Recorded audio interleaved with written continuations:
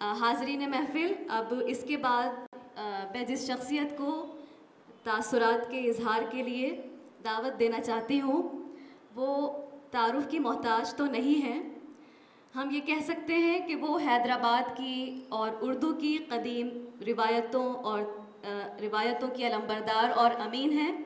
ان کی شخصیت کے یوں تو بہت سے حوالے ہیں، لیکن ایک حوالہ یہ بھی ہے کہ جب بھی کبھی عاشقان اردو اور محبان اردو کی کوئی فہرست ترتیب دی جائے گی تو ان کا نام نظر انداز نہیں کیا جا سکتا۔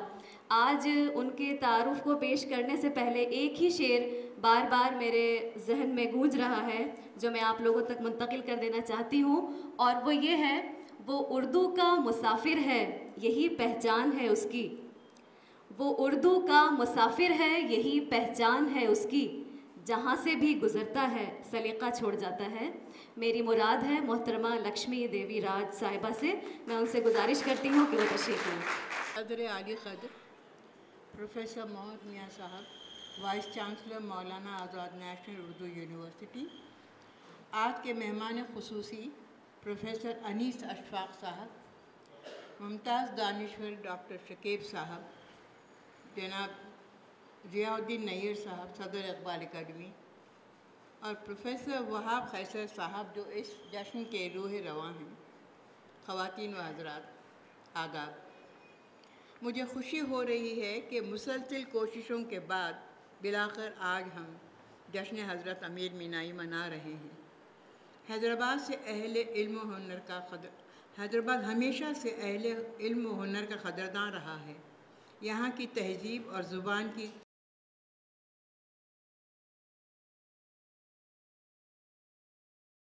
تشکیل میں ہندوستان کے گوشے گوشے کے عناصر شامل ہیں اور خاص طور پر شمالی ہند کی حیدرآباد ہر زمانے میں شمال اور جنوب کی تہذیبوں کا سنگم رہا ہے۔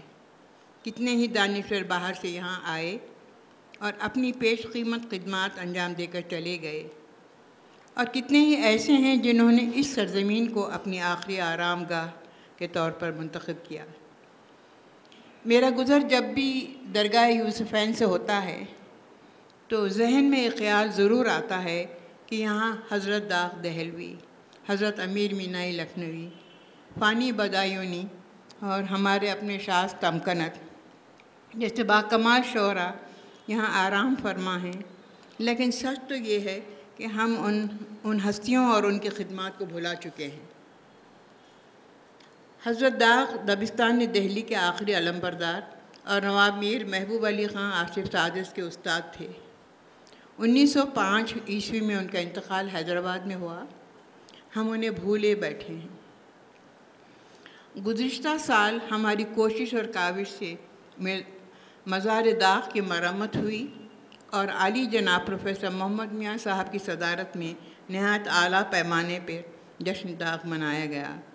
اس وقت بھی پریس کا ہمارے ساتھ بڑا تعاون رہا اور آج اس سال اس موقع پر بھی میں سوچتی ہوں پریس کا تعاون رہے گا ویسا ہی۔ اس سال حضرت امیر مینائی کے جشن کا ارادہ کیا۔ حضرت امیر مینائی کا انتقال تین اکتوبر نائنٹین ہنڈریڈ عیسوی کو حیدرآباد میں ہوا۔ وہ دبستان لکھنؤ کے آخری علم بردار تھے۔ اس بار national, Maulana Azad national Urdu university کے تعاون سے ہم اس جشن کا اہتمام کر سکے۔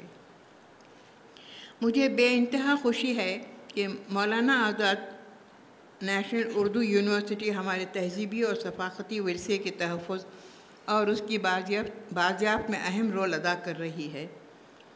مولانا آزاد اردو نیشنل اردو یونیورسٹی کے وائس چانسلر محمد میاں ہماری تہذیب کی قدر کر رہے ہیں۔ ہمیں بھی ان کی قدر کرنی چاہیے۔ تعلیموں سے پلیز۔ آپ سب کا بے شکریہ۔ آپ لوگ یہاں آئے ہیں، مجھے بڑی خوشی ہو رہی ہے۔ کاش کہ اور زیادہ لوگ آتے ہوتے اور ہماری اردو کی زیادہ لوگوں تک بات پھیلتی تو زیادہ اچھا لگتا مجھے۔ آپ نے اپنے گرا قدر احساسات اور تاثرات کا اظہار فرمایا۔ حاضرین محفل، اب اس کے بعد میں جس شخصیت کو اظہار خیال کے لیے دعوت دینا چاہتی ہوں، وہ اگر میں یہ کہوں کہ وہ ایک علمی شخصیت ہیں، تو میں ان کی شخصیت کے ساتھ انصاف نہیں کروں گی۔ کیونکہ ان کی شخصیت وہ ایک مفکر بھی ہیں، ایک سماجی کارکن بھی ہیں، ایک بہت اچھے مقرر بھی ہیں اور ہم سب ان کی شخصیت اور ان کی کارکردگیوں اور ان کی مصروفیتوں سے بخوبی واقف ہیں۔ میں ایک شعر ان کی نظر کرنا چاہوں گی، میری مراد ہے جناب ضیاء الدین شکیب صاحب سے اور ایک شعر کی ان کی نظر کر کے ان سے گزارش کروں گی کہ وہ یہاں تشریف لائیں۔ حقیقت حقیقت کہاں میرے بعد؟ کہ ابھریں گی پرچھائیاں میرے بعد۔ تماشائیوں چن کے رکھ لو انہیں۔ تبرک ہے یہ دھجیاں میرے بعد۔ کتابوں میں ذکر وفا آئے گا۔ چلے گی میری داستاں میرے بعد۔ میری گزارش ہے ڈاکٹر محمد ضیاء الدین شکیب صاحب سے کہ وہ امیر مینائی اور حیدرآباد کے موضوع پر اظہار خیال فرمائے۔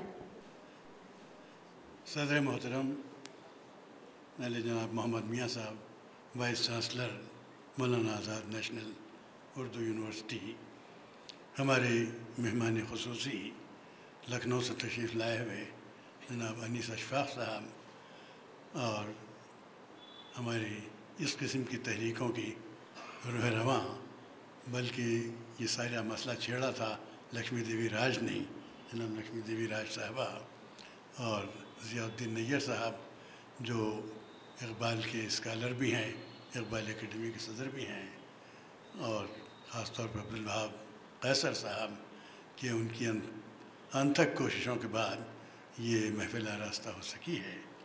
اور چونکہ وقت زیادہ ہے، میں کچھ بہت زیادہ باتیں تو کروں گا نہیں۔ حکم یہ ہے کہ امیر مینائی کا حیدرآباد سے کیا تعلق رہا۔ تعلقات کی دو شکلیں ہیں، ایک ظاہری ہوتی ہے اور ایک باطنی۔ ظاہری شکل تو یہ ہے کہ ان کا مزار یہاں موجود ہے، لیکن باطنی شکل یہ ہے کہ حیدرآباد کے لوگ، ہم حیدرآبادی جس قسم کی اردو بولتے تھے، اس میں رفتہ رفتہ تبدیلیاں آئی ہیں، وہ کیوں آئی ہیں اور کیسی آئی ہیں؟ اس میں پانچ چار جملوں میں میں پانچ چار صدیوں کا جائزہ لینا ضرور چاہوں گا۔ پہلی چیز تو یہ ہے کہ سولہویں اور سترویں صدی تک ہندوستان میں دکن، اور خاص طور پہ حیدرآباد، یہ مقام زبان دکنی کا یا اردو کا گہوارہ رہا ہے۔ یہی اس زبان نے ایک ادبی شکل اختیار کی ہے، ورنہ اس محاورے میں غزل، مرثیہ ربائی قصیدہ اور مصنویاں ان اصناف کو جو فارسی میں تھیں، لا کے دکن میں گویا، اپنی ہندوستانی زبان میں دکنی زبان میں منتقل کیا گیا۔ پھر یہ ہوا کہ نہ صرف ایک زبان میں ایک نیا ادب پیدا کیا گیا، بلکہ یہ حیدرآباد وہ جگہ ہے یا دکن وہ جگہ ہے۔ حیدرآباد گویا دکن کی علامت بن جاتا ہے، جہاں اردو کو اس کا رسم الخط ملا۔ جس رسم الخط میں آج اردو لکھی جاتی ہے، وہ اسی سرزمین میں بنا، یہیں بڑھا اور اس کے بعد آگے لیا گیا۔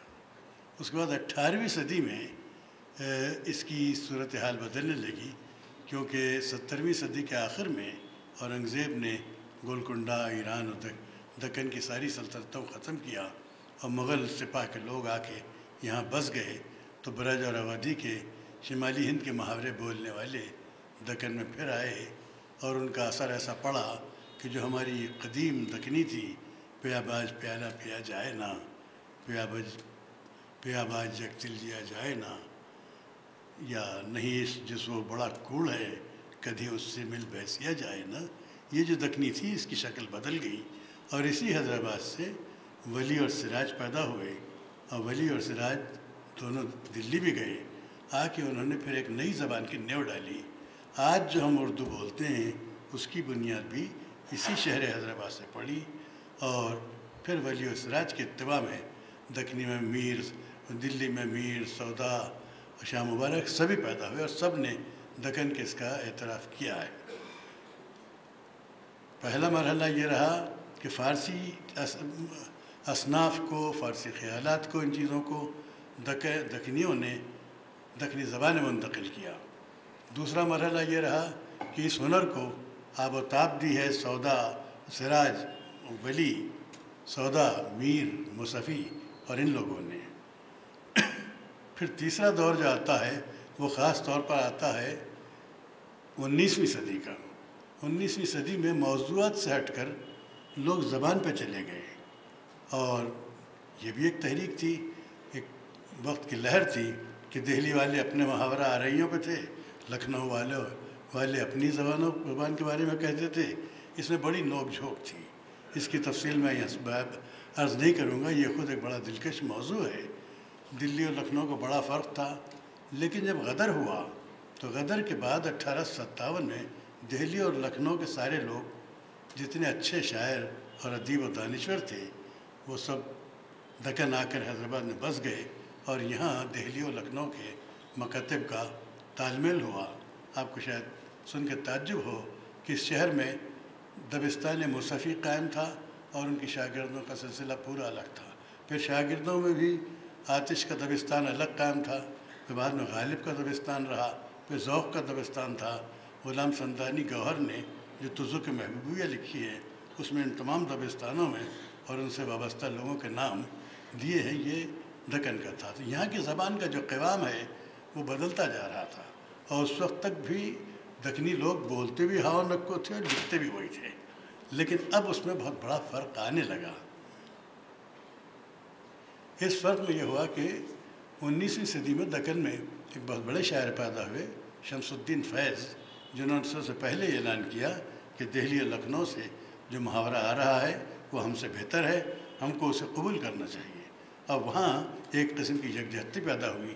اور بڑی توانائی کے ساتھ یہ جو لہر چل رہی تھی زبان کی دلی میں اور لکھنؤ میں، وہ لہر یہاں بھی آ گئی اور حیدرآباد میں دونوں کے گویا پرستار پیدا ہوئے انیسویں صدی کے انیس سو تین میں میر انیس جیسا شاعر پیدا ہوا۔ میر انیس کی حیدرآباد میں آمد آمد ہوتی تھی۔ ان کے مرثیے یہاں جس شرف سے سنے جاتے تھے۔ میر انیس نے اردو کو یعنی میری قدر کرائے زمین سخن، تجھے بات میں آسما کر دیا۔ اس کو جب لوگ سننے لگے تو لکھنؤ کے محاورے کی بڑی قدر یہاں پیدا ہوئی۔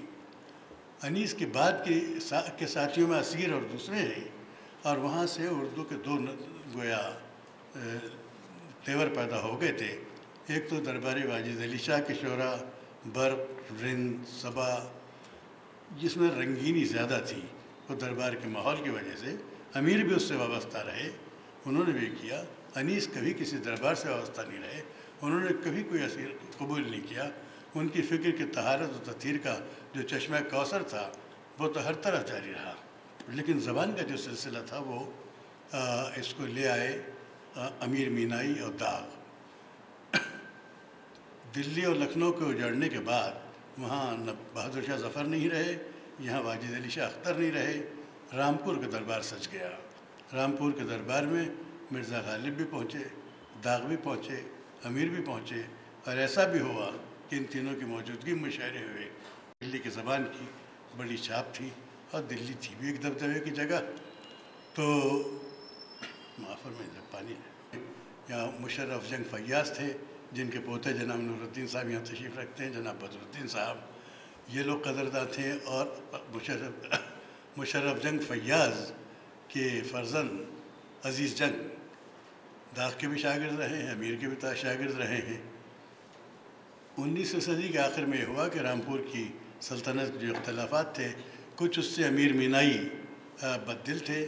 اور ساتھ ہی ساتھ کچھ صورت حال یہ ہوئی کہ نواب میر محبوب علی خان نے امیر کے اشعار جب سنے تو ان کو یہ خواہش پیدا ہوئی کہ امیر سے ملنا چاہیے اور انہوں نے امیر کا کلات کلیات منگوائی، کلام پڑھا۔ اسی زمانے میں وہ دلی تشریف لے جا رہے تھے تو کلکتے سے ہوتے ہوئے بنارس اور بنارس سے دلی گئے۔ تو انہوں نے انیس کو امیر کو پیام بھیجا کہ آؤ اور یہاں ہم سے ملو۔ تو کلکتے میں تو نہیں ہوا۔ لیکن یہ سن انیس سو کا واقعہ ہے کہ امیر مینائی کی ملاقات ان سے بنارس میں ہوئی اور واقعہ نگاروں نے بیان کیا ہے کہ امیر جب امیر امیر جب وہاں پہنچے ہیں تو نظام باہر آئے، ان کا ہاتھ پکڑ کے اندر لے گئے اور کئی گھنٹے ان کے ساتھ ان کی محفل رہی۔ یہ اعزاز بہت کم شہروں کو ہوتا ہے اور ان سے کہا کہ بس اب حیدرآباد آؤ۔ چنانچہ وہ بھوپال ہوتے ہوئے مختلف مراحل طے کرتے ہوئے انہوں نے حیدرآباد آنے کا قصد کیا اور حیدرآباد تشریف لائے تو ان کو مسئلہ تھا ٹھہروں گا کہاں؟ تو مشرف جنگ فیاض نے فوراً لکھا کہ آپ آئیں گے اور ہمارے یہاں ٹھہریں گے۔ اور انہوں نے اپنے محل کا ایک حصہ اس کے لیے مختص کر دیا۔ لیکن یہ ہوا کہ نواب مرزا خان داغ انیس کے پرانے رامپور کے ساتھی، وہ کیسے برداشت کر سکتے تھے کہ امیر آئیں اور کسی دوسری جگہ ٹھہرے؟ انہوں نے تو نظام سے فرمان نکلوا دیا کہ امیر آئیں گے تو داغ کے یہاں ٹھہریں گے آپ کو معلوم ہونا چاہیے کہ اس وقت نواب مرزا خان داغ ترب بازار کی اس گلی میں رہتے تھے جہاں مسجد عبدالرزاق ہے اور اسی مسجد سے متصل مکان میں داغ رہا کرتے تھے۔ اور امیر نے ان کو لکھ دیا تھا داغ کو کہ بھائی تم اس کی فکر نہ کرو، میں اکیلا نہیں آتا ہوں میرے ساتھ بہت لوگ ہوتے ہیں۔ تو داغ نے ایک پورا بڑا گھر لے لیا تھا کہ یہ اپنے ساتھ بیس بائیس آدمیوں کے آئیں تو سب اس میں ٹھہر سکے چنانچہ سب آئے، جس میں ان کے امیر کے فرزند تھے، شاگرد تھے ان کے دفتر کے لوگ تھے، ان کے سیکرٹری تھے جلیل مانک پوری، یہ سب لا کے لوگ آ کر ترب بازار میں وہیں ٹھہرے۔ اور ٹھہرتی طبیل بگڑ گئی۔ حکیموں کے علاج سے فائدہ نہیں ہوا تو ڈاکٹر کی طرح علاج شروع کیا گیا۔ مطلب ڈاکٹر کے علاج سے مرض کچھ اور پیچیدہ ہو گیا۔ بہرحال یہ ہے کہ ان کو پھر اس گھر سے بھی نکالا گیا اور توپ کے سانچے کے پاس کسی نواب کے مکان میں، ہو سکتا ہے کہ ہمارے ابھی میں نام بھول گیا۔ ان کی مشرف جنگ کے فرزندی کا مکان ہو، وہاں ان کو رکھا گیا اور توپ سانچے کے مکان ہی میں امیر مینائی کا انتقال ہوا۔ لیکن جب وہ حیدرآباد تشریف لائے تو سرکاری اعزازات کے ساتھ نام پلی اسٹیشن پہ ان کو ریسیو کیا گیا اور اس وقت کوئی گورنمنٹ گیسٹ ہاؤس وہیں قریب میں تھا۔ میں لوکیٹ نہیں کر سکا کہ یہ گیسٹ ہاؤس تھا کہاں، وہاں ان کو ریسیپشن دیا گیا، پھر داغ کے گھر پہنچایا گیا۔ مہینہ ڈیڑھ ڈیڑھ مہینہ بیمار رہنے کے بعد جب ان کا انتقال ہوا تو افضل گنج کی جو مسجد ہے، اس مسجد میں ان کی نماز جنازہ پڑھائی گئی اور درگاہ یوسفین میں اس وقت داغ زندہ تھے داغ بھی شریک تھے، ان کی وہاں تجہیز و تکفین ہوئی اور امیر نے وہیں لکھ دیا تھا کہ ابھی اچھا امیر کو ایک احساس ہو چلا تھا کہ میں جب حیدرآباد جا رہا ہوں تو شاید یہاں سے زندہ واپس نہیں آؤں گا۔ اب کے سفر وہ ہے کہ دیکھوں گا پھر وطن۔ یہ احساس تھا ان کو۔ اب کے سفر وہ ہے کہ نہ دیکھوں گا پھر وطن۔ یوں یوں تو میں لاکھ بار غریب الوطن ہوا۔ کیسی گھڑی تھی گھر سے جو نکلا تھا میں غریب، پھر دیکھنا نصیب نہ مجھ کو وطن ہوا۔ تو یہ حیدرآباد کا تعلق ہے۔ امیر کے بعد ان ان کے ساتھ جو بیس اکیس لوگ آئے تھے، اس میں ان کے سیکرٹری جلیل مانک پوری تھے اور ان کے تربیت یافتہ تھے۔ نواب میر عثمان علی خان اس وقت شہزادے تھے، انہوں نے امیر کو جلیل کو اپنا استاد بنا لیا۔ جلیل جلیل مانک پوری شہزادے کے استاد رہے۔ انیس سو گیارہ میں جب نواب میر عثمان علی خان بادشاہ بنے تو وہ ملک الشعرا بنائے گئے، استاد شاہ تھے۔ اور امیر میں مینائی کی جگہ کہ جانشین کے طور پر جلیل نے بہت خدمات انجام دی اور کم از کم دو سو شعرا جلیل کے حیدرآباد میں ہیں۔ جنہوں نے مکتب امیر کو یہاں زندہ رکھا اور جلیل کے شعر کے کیا کہنے، ایک دیر ایک دو شعر سنا دوں کہ کہ میں جو چلوں تو سایہ نہ میرا، سایہ بھی میرا نہ ساتھ دے اور تم جو چلو زمین چلے، آسماں چلے۔ یہ ان کا شعر ہے، نگاہ برق نہیں، چہرہ آفتاب نہیں، وہ آدمی ہے مگر دیکھنے کی تاب نہیں۔